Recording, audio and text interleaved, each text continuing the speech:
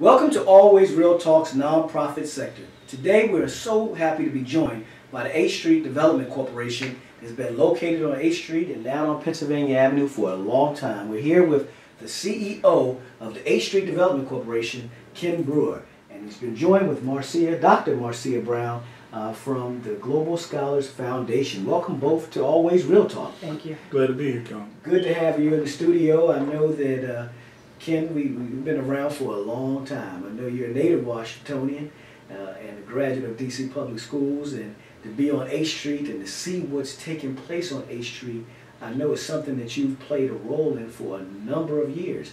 Tell us a little bit about H Street and, and what you guys do and why you guys are so important to our Yeah, community. the H Street CDC has been around since 1984 and it's primarily been a catalyst for the economic revitalization of the H Street corridor. Uh, we've had a supermarket, we've had other large stores that have come and gone to H Street, and at one time it was even a food desert.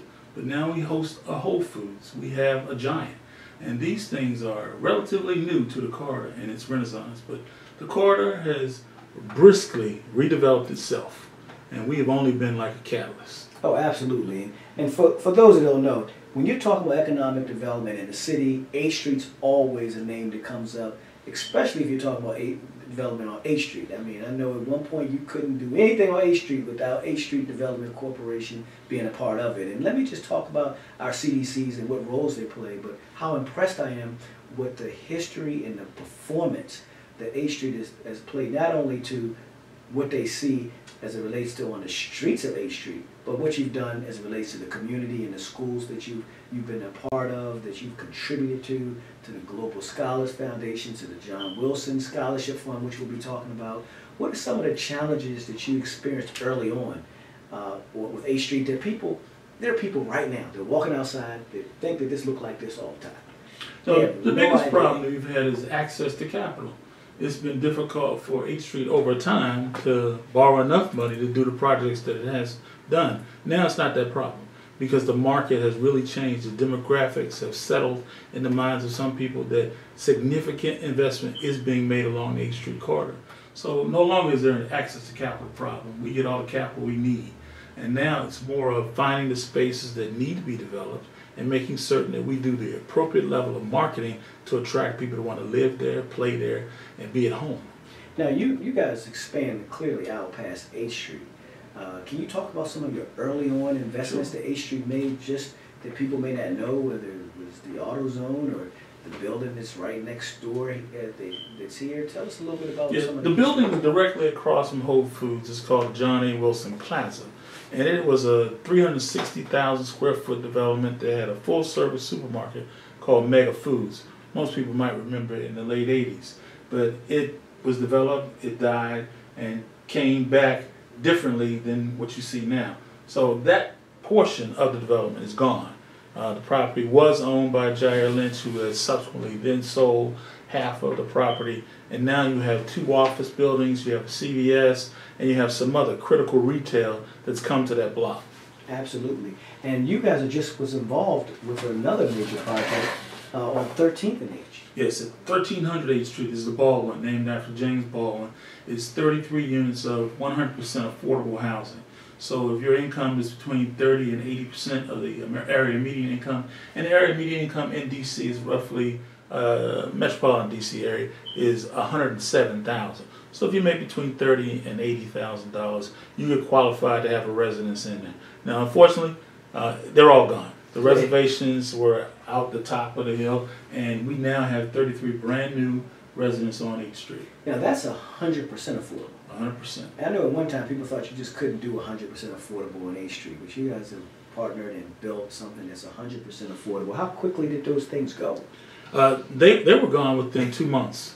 And, and we have to give a plug to the, the Bowser administration and past administrations who actually have put money where their uh, mouth is. And that is, they put money in through the Housing Production Trust Fund. They competitively bid this former RL Christian site. So we had a clear opportunity to develop affordable housing. When most people said, I don't think you're going to put affordable housing on H Street.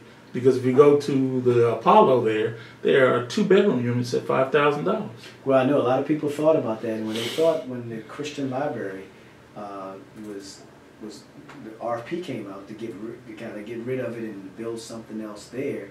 There was a lot of concerns that they were going to get this market rate rate housing, and that was gentrification. So to see the the organization working with the administration Mhm. has done a phenomenal job to make it 100% affordable.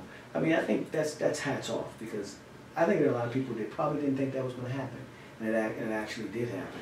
Uh, what are some of the other exciting things? I know Rhode Island Avenue, you guys have a, a project there. Yeah, 2321 4th Street, we developed 116 units of 100% affordable housing in a multifamily building, and we had partners, the E&G Group, and they were able to help us construct this $35 million project uh, relatively fast. But it had been a former DC government on site, and we competitively won the rights. And that's, I think that's also uh, good to note that when you look at government competitive sites and partnering with CDCs that are out here doing good work, you get hundred percent affordable, right? Mhm. Because that's a, that's hundred percent affordable. That's 100%. like- Most of you, you know where it is, right near Rhode Island Avenue on Fourth Street, that beautiful uh, complex you see there, that's a, that's a H Street developed building, hundred percent affordable. Thirteenth and H Street, who would ever thought it would have been hundred percent affordable, this hundred percent affordable. I mean, those are the things that, uh, that, that I think people are saying are excited about H Street. What's, what's new? What's the next thing that, that you guys are working on? Well, our next big thing is on Benning Road. We're going into parts of the city that most people have not, and we're going to develop more uh, properties along the Benning Road and the Bladensburg Road area because we think it's important to go where places that need to be developed. And how can people find out a little bit more about H Street? They can go to our website at hstreetcdc.org, or they can call us at 202-544-8353. Great. Be glad to talk Hold to on, you. he, he threw out a phone number. I mean, a lot of people come on the show, but no people throw out phone numbers and say, hey, he said gladly be talk to you. Well, let me tell you, when we come back, we're going to talk about a couple of things H Street is doing. One, we know that the Global Scholars Foundation is, is something that has been, you know, heart and soul of what you've been able to provide for our young folks here in the District of Columbia. Then we're going to talk about, of course, the John Wilson Scholarship and all the kids that you've been able to put in, in college and, and really make a big difference, not only in their lives, but in their families' lives. We'll be right back right after these messages.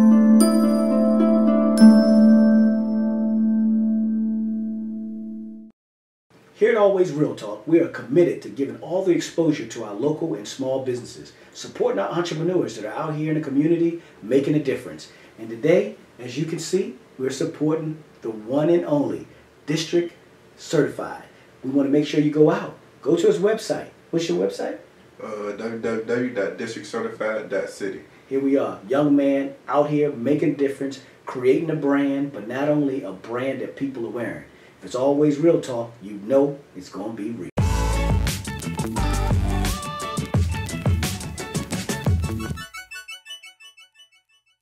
What? Welcome back to Always Real Talk. We're here with H Street Community Development Corporation, and we're just talking about the phenomenal things that H Street has done just from a development perspective. But man, I think people just don't understand the community part of H Street Community Development Corporation. Tell us a little bit about that community side that you guys do and why you do it. Yeah, we have been advocates for the community. When there have been zoning issues that the community's been enraged about, we've gone and testified before the council. We've also been able to do the full breadth of community development, which includes uh, real estate as well as economic development. So some of the properties that we've been involved with include the Walmart that's right there on H Street. Our partners and I were able to pull off the Walmart right there near Gonzaga.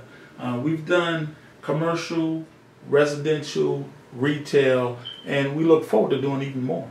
So the, the the Walmart, the famous Walmart that everyone goes to on H Street, which you can always find parking for, by the way. I don't think I've ever been there and couldn't find parking. So, you know, go. To, I think everyone goes there already. Lumber there's a bunch of people there. You guys are involved in that particular. Absolutely. development. So that's a that's a retail project. That's right. You guys have developed clearly 100% affordable housing that you guys have done, Right.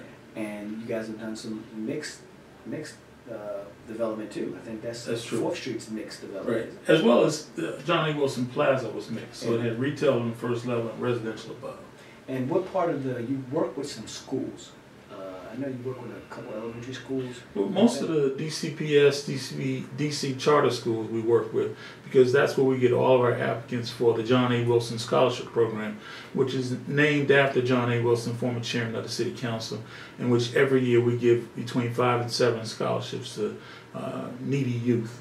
So when you give the John A. Wilson Scholarship Fund that you have every year, how much, how much, seven or eight students get, receive? Between those? five and seven Five and students get it. And how much money do they, Ten thousand dollars. ten thousand dollars? Yeah, Wow. it's spread over a four-year period, and the students are very happy to get it. They write an essay, they're interviewed by a panel, and we select them. And how long is, what year is this going on with the John A. Wilson Scholarship? How many years? The has it John A. been? Wilson Scholarship is more than ten years old. Ten years old, so you guys have been giving out five to eight, ten thousand dollars, that's, Mhm. let's just say that's eighty thousand dollars. I went to DC Public Schools, so I can count very Mhm. well. So eighty thousand dollars a year that you give out in scholarships to DC Public Schools. Sure, Wow, that's awesome, and, and that's some of the, use some of the proceeds from what you do from a development perspective to then provide that. Right. All right, and, and John A. Wilson Scholarship, when does that come out? That comes out in early January. The applications are due back in March, and then we have an award program there about June. About June. Yeah. So I think this is John A. Wilson time then. That's right. This is John A. Wilson time. Go to the website, check it out. What is the website they can go to? They can go to hstreetcdc.org. All right, you see it on the screen, hstreetcdc.org. Check it out, the John A. Wilson Scholarship, just one of many things that the H Street Community Development Corporation is doing to just impact their community. We'll be right back.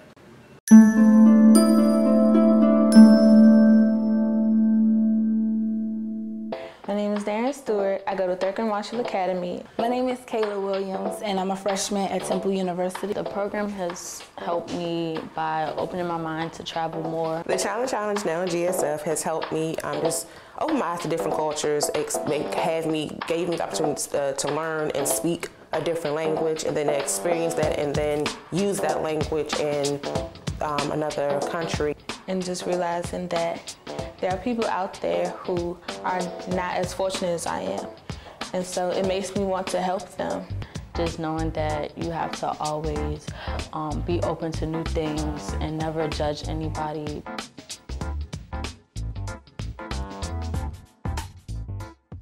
Welcome back to Always Real Talk. We're still here with the H Street Community Development Corporation. We've learned a lot today. We've learned about their H Street's historic uh, past performance in creating retail, 100% affordable housing, its ability to create scholarship funds, $80,000 a year over the last number of years to stu- students right here in the District of Columbia. And Ken, we're back now talking about the Global Scholars Foundation. Tell us a little bit about the Global Scholars Foundation and Dr. Brown, how you play a role in this, with, and why was important to, to create it in the first place. It started off as a community global initiative, and we thought that China was not the only place in the world. So we decided to enlarge it, as well as take some of the students who look like me to places that they could see people that look like them. So we've been around the black diaspora of the world and have taken kids to uh, South America, to Brazil, to South Africa, to Morocco, to uh, China, of course. And now this summer we'll be taking them to Ethiopia and Egypt. And we were very fortunate to be able to hire Dr. Marcia Brown back in 2010, and she has been the leader of this program for some time now. And uh, Dr. Brown, tell us about the the program in terms of it's a year long program. Year-long program. And What do Little they bit do? more than a year? year. So they go to school and they do this. Yes, yes, yes. It's a big commitment. It's, it's a huge commitment, but we tell the students up front during the interview process, if you devote this time to us, we'll make it worth your while. And I think we hold true to our word. And when you say a year long, what what does that mean? Like So- what do they do on a monthly basis? Okay, so I'll, I'll take you back to the beginning of the program. We normally uh, start sending out applications in the fall, October. So we started the process in October of 2017. Okay. So by January of 2018, we started getting applications. By March of 2018, we had interviews. We selected the students. They came in for interview. Then we selected them by May because if they register with Summer Youth Employment Program, the DC Summer Youth Employment Program, they can get paid to work with our site. We are a host site. Okay. So we like to let the students know by May if they got accepted so they can also work and earn money for being in our program. So May of 2018, we accepted this new cohort. So from June of 2018 until August of 2018, that was phase one. So they were with us six weeks, five days a week. Uh, depending on your age, you were either with us 20 hours a week or 25 hours a week, according to the summer youth employment schedule. During that time, um, the kids, it's kind of like school. It's, it's a little rigorous. Um, but we teach them soft work skills like how to build a resume, how to interview for a job, how to dress for a job. The students, each student has to read a book and do a book report.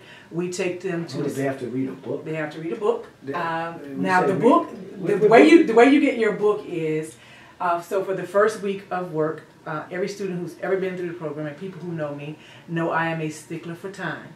So that first week, you know, you have to be at work on time you you have that's you just have to be on time. So if you had the first week a good uh, record, a good start off of being on time, then you got to pick the popular, the fun books, the short books, whatever. If you had some issues getting used to getting work on time, then you had the leftover books that were usually long and harder to read. But nevertheless, the students still had to do a book report at the end of the summer. Wow, um, that's, a lot. It's a lot. It's it's it's a lot. So they were with I us. I, I think I might have made it. It but we also do improv. During the summer, they did three classes at the Washington Improv. Uh, we go on field trips every Friday. We went to a college in the local area.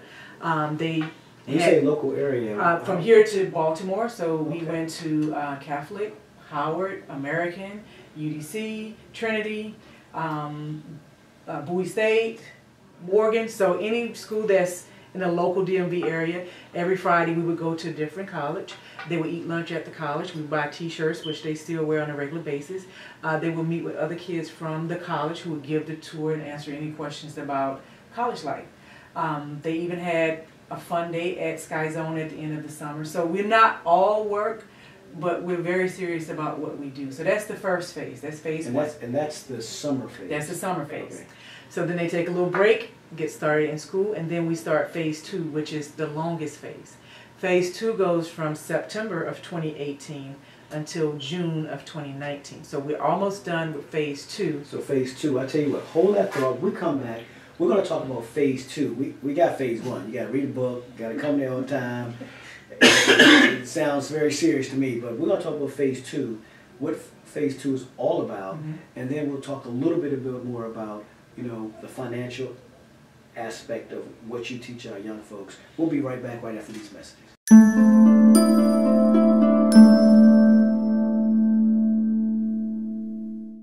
Welcome to Always Real Talk. We're here at DC Pit Stop and we're here with the Global Scholars Foundation. We're here with the chairman of the board, Kenneth Brewer. Well, good, welcome Ken. Thanks for coming on. Glad to be here, Kwame. Dr. Marcia Brown, the executive director. Thank you. And Anthony Bolling from the Anthony Bolling Group, who is the title sponsor of this wonderful event, the inaugural golf tournament. Welcome. Thank you, Kwame. It's a pleasure to be here. Well, let me tell you, the Global Scholars Foundation do, you do some phenomenal work. You're out in the community, not only just traveling and exposing, uh, exposing our young kids to foreign countries and things that they probably would never see if you didn't give them the opportunity to do it, but also teaching them about financial literacy, teaching them about how to actually go after financial aid, teaching them about just how to be productive citizens, not only here in the District of Columbia, but wherever they go. Let me ask you a question. Why is this golf tournament so important? Mr. Brewer? It's important because this is a fundraising effort for us to fully fund the Global Scholars Program. Uh, every year, H Street Community Development Corporation has to write a significant size check. And we've chosen to try and make this um, financially feasible for the corporation to continue on. And that is to build a war chest so that they can afford to have these types of programs. Well, let me tell you, your vision of just continuing to make sure that the foundation continues to exist is extremely important. And the ability to put your mouth, your money where your mouth is, and saying, hey, we're going to fund this thing, and now we're just going to come up with creative ways to keep it going. Right. Most people always talk about starting, but they never start because they never want to put the money to actually start. So hats off to you and your whole board for seeing this as a, a true value to the community. And I mean, you start talking about a title sponsor, uh, Mr. Bolling, I mean, you're a title sponsor, you stepped up to the table. I mean, that speaks volumes. This is the first one, and, and this is the first inaugural one, so you right. haven't done one before with this group. Tell me why it's so important for people to get involved and to come out and to support the event, and when is the event? Well, Kwame, thank you, and you're absolutely right. The Anthony Bolling Group uh, is a local full-service real estate brokerage firm here practicing in the Washington D.C., Prince George's County area. And we too admire the work that H Street Community Development Corporation and the Global Scholars Foundation are doing with our young urban youth here, our young scholars, where they are expanding their vision beyond their zip codes. You know, we all, as Washingtonians, think that DC is the epicenter of the universe and the world, but this program, It is. by the way. it, it is. hey, Washingtonian, I, I get it. But this program is taking those young scholars and really showing them the world. Uh, the Anti Bolling Group wants to be a part of that. It's something that resonates with our mission to help uh, individuals uh, acquire real estate as a part of their missions and, their, and supporting their organizations. And so the opportunity for us to raise $75,000. So that's the goal. Is the goal to raise seventy-five thousand dollars? Our mission with Great. this golf uh, event, the first and, uh, annual uh, golf charity fundraiser, May 20th, at our club, at my club at the Country Club of Woodmore, uh, is to raise $75,000. Now, that won't cover the total budget to take 20 members, 20 kids in this cohort to Egypt, Ethiopia, and Rome. But we think it's a great start on our part. And so we're excited to be a part of it. Now, when you start talking about that, it's May the, May the twentieth, it's at, at Woodmore? It's at Woodmore Country Club. And you'll see it, you'll see it on the screen, as you'll see, we'll post all the information that can show you not only where it is, the dates on, but how can people get involved? Like, what are you looking for for other spon, you're a title sponsor, is there sponsorship still available? There are always opportunities to support the organization as a sponsor, as a title sponsor, as an individual whole sponsor, just to come out. If you don't play golf, and I'm not an avid golfer, but I do drive the cart well, and others can too. I'm gonna stay away from you. I've heard that before. so, let- so what does it cost just to play? We want to come out there and play, and I just want to take. Me, man, what does it cost? Is there any individuals that can come out and play? What does it cost? No, because we want to encourage persons to come out and bring someone. So, so, so, what do we do a foursome? What is it for? You can bring a foursome, and the sponsorship is five hundred dollars for you and a foursome to come out and enjoy a round of golf, and the opportunity to do a hold in one, where you have a chance to win tickets to next year's Final Four. Oh, it's the next year's Final Four. Yes, Okay. All as right, a that's hold hot. as a hold in That's one hot. And opportunity. said, Woodmore has a, is a great place. It's a great golf Woodmore course. is, that's right. And let me tell you, to all my friends out there who already play there, come on out, support the organization. I'm gonna be out there. We're gonna be out there talking to folks. Uh, Dr. Brown, when you talk about these students, because this golf tournament is not just about taking kids to these overseas, right? It's, it's, it's more inclusive than just a trip. Is that correct? Right. Yes, exactly. The program is a year-long program. So these kids have been with us since last year. The trip, the international trip is the very last thing that we do. So we will take an international trip this summer for two weeks, uh, as Anthony said, to Rome, Egypt, and Ethiopia. But our program is, it consists of financial literacy, college readiness, and language and cultural training. So they've been working with a language coach for the last nine months uh, on every other Saturday uh, for three hours. So we do a lot more than travel. We're just not, you know, a fun travel group, although that's part of what we do. And we're very excited to have this golf tournament to offset the cost so that we can continue to do what we do in the District of Columbia. Now that that's a commitment from our young folks. I mean, anytime that you committed to come out on Saturdays and spend three hours before nine And months, learning Arabic, they learn. Arabic, and that's that's phenomenal. So we're gonna go out. It's Woodmore. If you're out there, you play golf, come out. If you don't play golf, make a donation. If you can be there, be there. We want you to come out and support this. It's a good event. They're doing great things. It is Global Scholars Foundation. Title sponsor, Anthony Bolling, the Bolling Group, along with uh, H Street Development Corporation, who has done a phenomenal job making, this is not like the first year trip. No. And we'll talk a little bit more about that when we get back, just about the foundation itself, what it does, H Street's not only commitment, but what they what they're doing to create a better pathway for our for our young folks. All right, it's always real talk. You know it's going to be real. Come out May fourth. Look at the screen. May twentieth. She just corrected me. May twentieth. May twentieth. It's on the screen. You can see it. Come out and support it. It says charity, but it's charity for a good cause. Look forward to having you.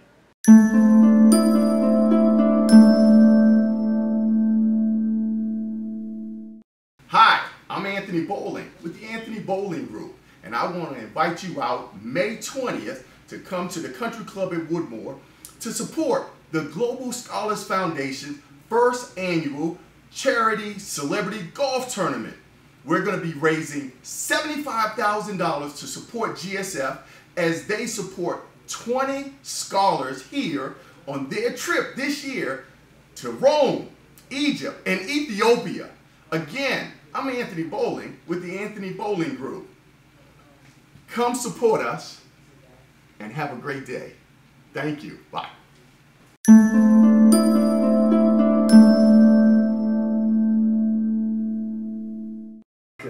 When we hear about development taking place in the city, we always hear that, man, we can't build affordable housing, it just costs too much money. But you are in partnership and you're doing 100% affordable units, and you're still finding ways to fund, you know, community programs that are affecting our young folks. I mean, that's hats off to, to you, your board, and everyone that's continuing to make those tough decisions to continue to stroke that check to make sure that these other programs are, are viable. Um, when you start to look at the sponsorship itself, you can see it on the screen, tell you what the sponsorships are, want you to go out. If, if there's other things you want to sponsor outside of the golf tournament, I know that you guys have a, a dinner for when all of the young folks leave the program, graduate from the program. That means that they have went through, you said nine week, nine month, Nine months. a nine month program, and they stuck through it Right. and they finished and they completed. Then there's a graduation program. There's always sponsors for that. I know you have your language, a language coach. Instructor. Right. Language instructor, looking for anyone who wants to step up and be a sponsor to our language coach. Anyone that wants to sponsor and has great access to any airline that's out there, we'd like to hear from you. I think you want them to reach out to you. I know some folks out there that are watching and they got airline people, friends that they know that are always looking to do good work. Rewind this back, listen to what they've been able to do, and step up to the table. And let's see if we can help our young folks, you know, give them a brighter life, give them something outside of what they're used to seeing. And that's what I, I like. It's not the cream of the crop, it's not the top, it's not the who's who's children in Washington, D.C.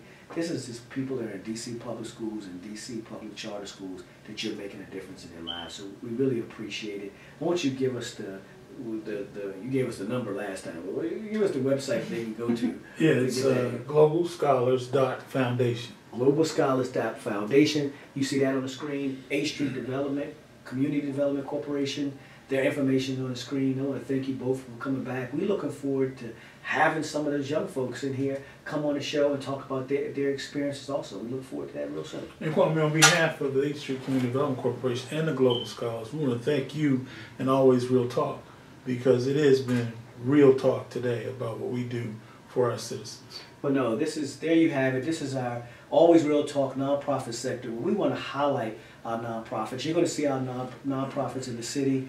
Uh, that you're going to be looking at their advertisements that we're going to be having. We're going to make sure that all of our nonprofits get some good spotlights for those that we can, because they're doing some amazing things in the community that we don't, that some people just don't know about. So if it's always real, you know it's always real talk thank you